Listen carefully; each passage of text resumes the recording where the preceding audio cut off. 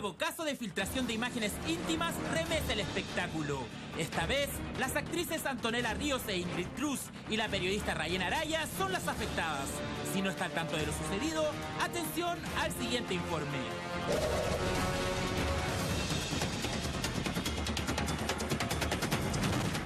¿Qué pensaría usted si de un momento a otro imágenes íntimas suyas fueran expuestas en la red? Seguramente sentimientos como la vergüenza o la rabia serían las sensaciones más cercanas que pudiese imaginar. Así parecen hoy entenderlo la periodista Rayena Araya, la actriz de Mega Ingrid Cruz y nuestra querida conductora de Mujeres Primero, Antonella Ríos, quienes de un momento a otro se vieron envueltas en un bochornoso episodio mediático. No puede estar pasando esto, no puede pasar, no puede volver a pasar eh, por respeto a las mujeres, o sea, por respeto a todas las mujeres. En el fondo yo quizás de alguna manera eh, me lo puedo tomar quizás un poco mejor, pero no, tiene- no tendría por qué hacerlo. Eh, estoy súper molesta, sí, y voy a hacer algo al respecto. O sea, fue una exposición del el 2007, la foto fue en 2004, y claro, o sea, eh, es súper violento, sobre todo cuando el contexto es otro. Si uno está preparado, uno se eh, programa, por último, para entender que esas fotografías podrían eventualmente eh, ser responsabilidad de uno y que se filtren. Si bien esta vez solo fueron tres imágenes filtradas de cada una de las afectadas, en esta ocasión no se trató de fotografías tomadas en un contexto privado o enviadas desde un teléfono móvil, sino más bien publicadas en un portal de internet.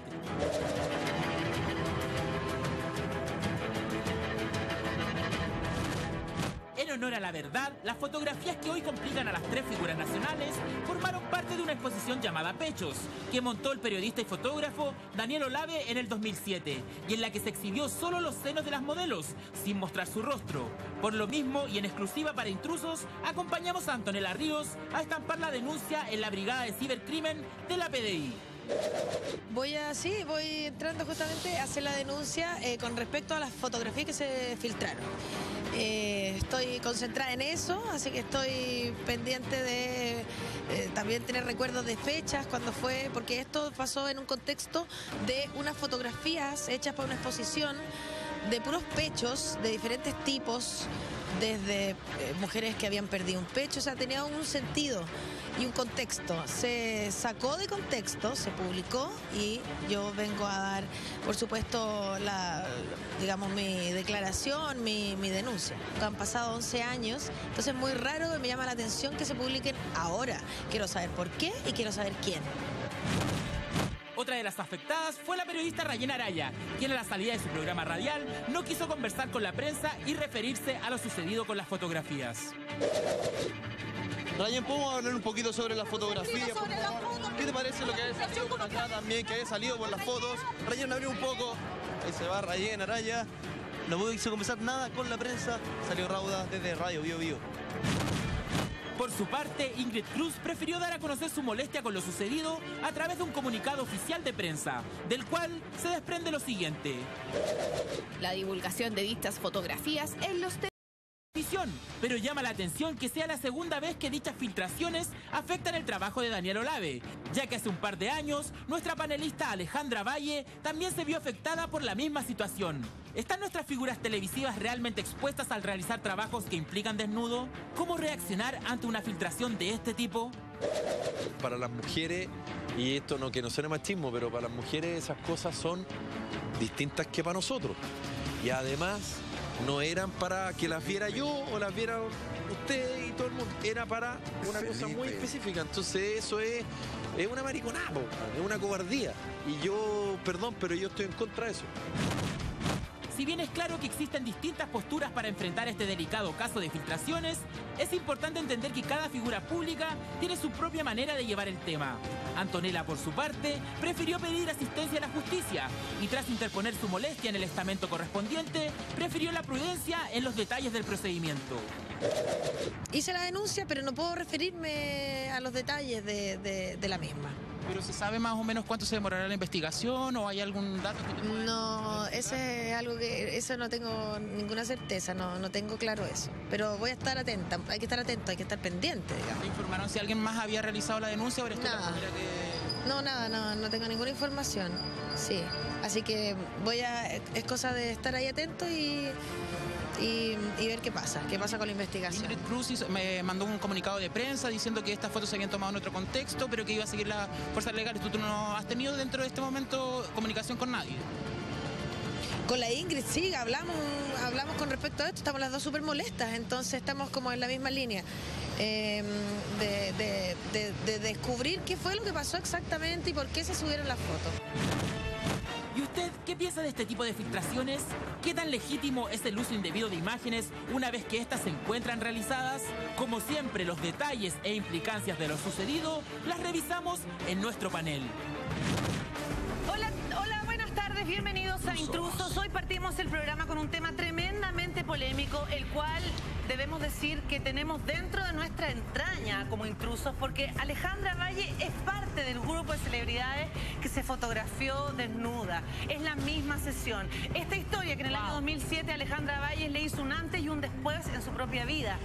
Ale, quiero partir contigo porque he leído tus declaraciones y me imagino que tienes un punto de vista que quieres compartir con nuestra gente. Sí, mira, a mí lo que primero me gustaría decir, porque nos han llegado muchos mensajes de, ay, ¿qué tiene? Son fotos lindas, se ven ricas. Mira, digan lo que quieran, estas fotografías fueron tomadas en un contexto para que se mostraran nuestras pechugas, para que no se viera nuestro rostro, para que nadie supiera de quién pertenecían esos pechos. Eh, tenían un contexto particular que en un primer instante del año 2004, han pasado 11 años desde esto. El año 2004 nosotros nos sacamos esas fotografías para un libro que se iba a llamar Pechos y cuyo sentido era muy lindo porque tenía desde que ver con la salud, había muchas mujeres con cáncer que se sacaron fotografías, fotografías que ahora deben estar en manos de esas personas que filtraron estas, que filtraron porque ellas son famosas, pero no las pero esas mujeres anónimas también que están ahí, que son más de 100 personas y que a lo mejor no son tan anónimas, yo no tengo idea quiénes son, puede haber otras famosas también. Esas personas saben que estas fotografías en estos momentos están en manos de personas que las usurparon de alguna manera de Daniel Olave, que es un periodista en quien nosotras confiamos, que aquí nosotras, nosotras, ¿no es cierto?, nos, sac- nos sacamos esa fotografía y que yo te digo, después de que a mí me pasó el año 2007, yo pensé que iba a tomar los recuerdos necesarios para que esto no volviera a pasar.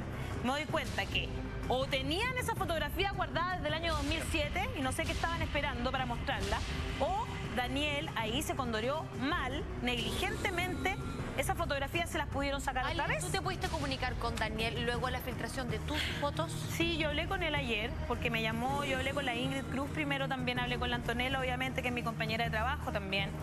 Eh, la chiquilla, mira, por ejemplo, la Antonella no estaba tan angustiada, pero sí estaba enrabiada. O sea, con una rabia, con unas ganas de decir, por Dios, violaron mi intimidad, Sí. me robaron estas fotografías que yo me las saqué con un contexto de ayudar, Qué rabia. un contexto artístico y social. Eh, ¿no es cierto?, importante, cultural, y resulta que ahora están siendo utilizadas para otra cosa, mostradas como no tenían que ser mostradas, y más encima viralizadas, porque aunque el- el- la, la página web que es Infames, ¿no es cierto?, que las publicó, aunque las haya bajado posteriormente, esas fotografías ya se viralizaron. O sea, por- eh, perdóname, por WhatsApp andan corriendo las fotografías. Eh, ya, ya- ya da lo mismo Ay, que estén o no estén en la página. A mí de distintos números me han llegado las fotografías, a la gente en su casa seguramente también, por ¿Y las eso? redes sociales siguen. Pero Ale, tú, tú partiste contando un poco la historia, dándonos el, dándonos el marco de esta historia, que es muy importante porque, claro, a ver, estas fotografías, si bien no se hizo el libro, tengo entendido, No. sí salieron a la luz pública a través de una exposición, pero exposición donde solamente aparecía el torso, Y aparecía nunca el se hizo el pecho de las mujeres, Claro, no se veía la cara, o sea, en esa- en esa nadie- exposición- probablemente nosotros habíamos visto esas pechugas, perdónenme la expresión, Sí. pero no la cara, que era el acuerdo que había entre usted y Daniel Olave, entiendo. Exacto, es un acuerdo de palabra, tengo que decirlo, nosotras Pero un acuerdo, la palabra- Sí, pero nosotras confiamos al nivel de que no firmamos ningún papel, estúpidas todas, más de 100 mujeres que no firmamos ningún papel, sí, somos tontas, yo lo confieso, en ese aspecto me siento muy, perdón que lo diga en buen chileno, me siento la reina de las huevonas. Pero con un fin así Pero es que claro, uno no vio eso, no vio maldad, no vio, no había, de hecho estaba en otro contexto también, el año 2004 no había redes sociales, no te troleaban, Ah, eh, no, Era no existía, todavía- Otra realidad. Exacto, todavía no se habían filtrado las fotos en Ale, Eh, Pero es que yo quiero saber, Ale, ¿qué dice la persona responsable hoy? O sea, ¿qué dice Daniel Olave acerca de esta situación? Ale, yo quiero que tú me cuentes lo que él te comentó y qué va a pasar con las famosas y las acciones legales, José, que van a tomar. Valery Torres, Valery Torres dice, cero respeto a las mujeres en este país. Yo creo que nosotros sí podemos hacer algo de ahora en adelante. Porque ahora como que vamos a decir, oye, sí, las fotos se viralizaron, me están llegando por los teléfonos. Nosotros, y usted en su casa, tiene la opción de no ver esa fotografía. Porque si usted ve esa fotografía... O lo abre. O lo abre, usted se va a hacer parte de eso. Aún así usted lo vea sola en su pieza por copuchenta. José, es como lo mismo que sucede cuando te roban, te, te hacen un asalto y te roban una cosa de tu casa, que es una- un adorno, por ejemplo, que tiene una marca que realmente es de la familia o alguna cosa que es muy privada y después se vende y alguien lo compra robado, también es Sí, cómplice. es porque yo tengo que ser exactamente lo mismo. muy honesto. Ahora voy a leer otro, voy a leer otro Twitter. Vamos, ahí dice, hashtag yo hago intrusos, que lata que por ayudar ustedes salgan trasquiladas y hoy estén pasando malos ratos, ánimo y fuerza. A mí me acaba de pasar que cuando escucho a Guaguito y Guaguito dice como, no, las fotos ya están viralizadas, yo dije como, oh, las quiero ver. Las quiero ver, no porque quiero así como siniestro ver los pechos de la, de la Antonella, sino que las quiero ver por, porque es noticia, porque es de lo que se está hablando. Pero después dije, ¿por qué las tengo que ver si mi vida no va a cambiar? No, no, no voy a ser más inteligente, ni más tonto, ni voy a participar más en el debate porque las veo o no las veo. Entonces lo que hay que hacer es no verlas. Si a usted le llega, no las vea. Ese es, ese es el único grano de arena con el cual nosotros podemos cambiar un poquitito. Y esto. mucho menos Eliminarla, no reenviarla. Claro.